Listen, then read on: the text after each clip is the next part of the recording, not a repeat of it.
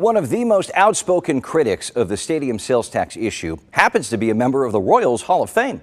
For the teams not to be forthcoming with seven years left on the lease, uh, I'm not surprised that uh, everything is such, so crucial and so such a crunch time.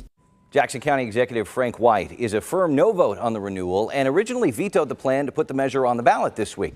In a statement ahead of the vote, White wrote, in part, our community deserved a thoughtful, equitable, and transparent approach to these public investments, one that prioritized the overall well being and fiscal health of the county and our residents. It's too late to fix that before the election. County Executive joins us here on Heart of the Matter to discuss his position and this issue. Thank you so much for sitting down with us today. Uh, you have mentioned this renewal effort feeling rushed, while the Royals point out that they've been trying to talk to you for years about their plans. so, where's the disconnect here, and why didn't discussions move forward more quickly? Well, I think we uh, were timely in our discussions. I think when it came to us earlier, it was more about uh, getting the tax on the ballot. And most of that time was spent saying, hey, you know, I can't talk about a tax on the ballot until we talk about a lease agreement. And so that's where it kind of bogged down. Uh, it takes about 90 days for us to put our negotiators in place because of that process we go through. So I, I think that everything was more them being in a rush versus uh, us not being timely. They seem to imply that, that you were somehow putting up roadblocks. How do you respond to that? Well, you know, I think every uh, when you run into a situation like this, everybody wants a villain, and and I guess I'm the, I'm the villain that they want. But but I really believe that my, my job as a, as a county executive is to do what's in the best interest of the, of the county taxpayers, and I have to make sure that.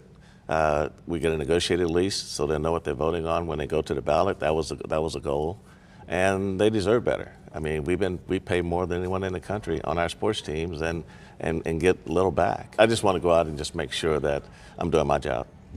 You're a firm no vote. Is there any version of a Royals relocation plan that you would support? What would you say yes to? I think it just goes back to uh, just sitting down at the table. I mean, I really there were a lot of things that were that were talked about in the meetings, and a lot of things we were discussing that we thought would be uh, make us more equitable in this uh, in this situation going forward. Uh, I think the people deserve more than to be straddled with 40 more years of paying 50 million dollars a year on these stadiums and getting uh, very little back in return. Would you ever support a relocation?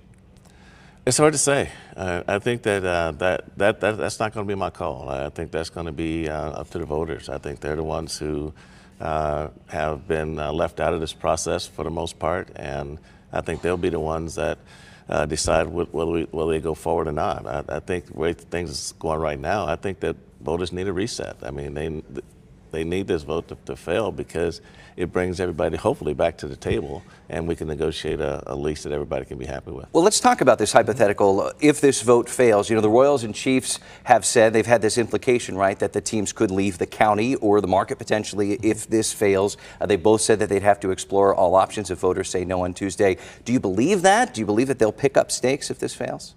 You know, I, I think what's most important is that, um, you know, I, I love I love sports. You know, I love the Royals, love the Chiefs, love all sports. Uh, but this is about business.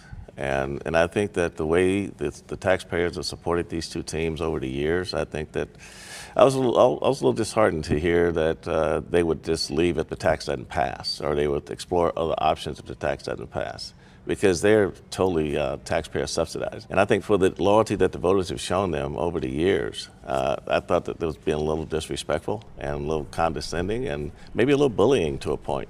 Uh, I think that the teams owe, the, uh, the, voters of Jackson County a lot more than that. I think that they, they, they should be more considerate. Would you work to keep the teams in town, in the county? Oh, definitely. I mean, I, I think we, any city's better off with, with, with, a sports team than without a sports team. But I, I think that the whole uh, premise here is that we want to be more equitable with these teams, and, and we want the teams to be more equitable with the county and the taxpayers. Uh, when you when you come seven years early and you and you want a 40-year lease, and and you and you're rushing it, uh, and we have to rush, they have to rush, and they got this timeline. We're trying to meet their timeline, and and at this and, and in the process, you're not sitting down to negotiate the basic things in a lease that you need to negotiate. And I think those are the things that uh, that I push pause. So when I when I vetoed it going on the ballot, it wasn't vetoing it to kill it. It was vetoing to give us more time to negotiate. Uh, but the, the responsible part was when seven members of the legislature voted to put it on the ballot without any agreement at all.